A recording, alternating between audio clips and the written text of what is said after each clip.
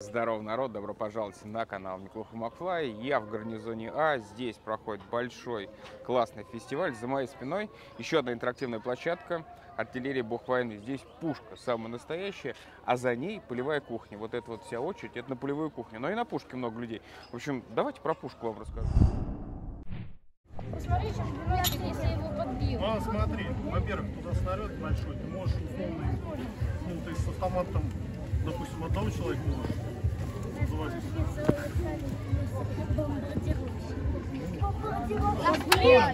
Противотанковая пушка ЗИС-3 образца 1942 года. Конструкции Грабина. Самая знаменитая наша противотанковая пушка полевой артиллерии.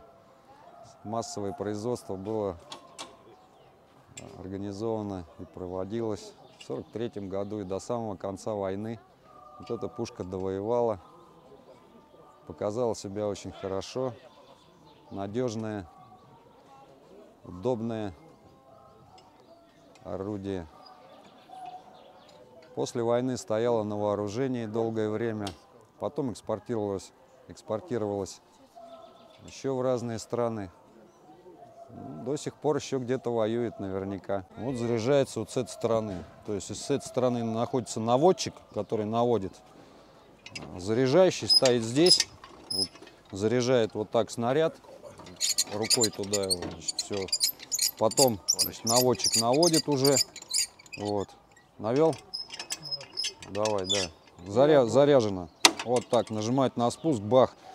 А вот это спуск, да? Вот. Это Ну, спуск, да. То есть вот весь ствол вот с этим, с казенником, вот так вот он откатывается сюда, срабатывает механизм, выкидывается оттуда гильза, открывается замок. То есть и уже вот так обратно встает уже на боевой взвод орудие.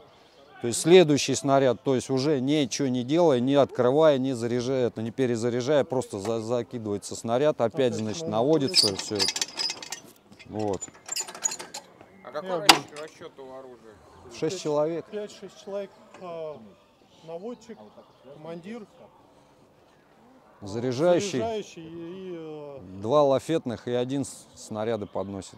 А возили ее как? На лошадях. На Сна- лошадях? Сначала на лошадях, да. Потом, естественно, уже там ну, на грузовиках цепляли там расчеты и орудия, снаряды, все возили на грузовых уже машинах. А сначала на лошадях, да. Ну, противотанковые там, да, бронебойные заряжались. Вот, на прямой дистанции до километра где-то. Вот. А если, ну, там какие-то укрепления или там по живой силе, там били осколочно-фугасными, вот, по укреплениям. А по пехоте вражеской там и шарапнельными снарядами тоже. Бризантный называется. Ну, любили ее, пушку эту очень любили.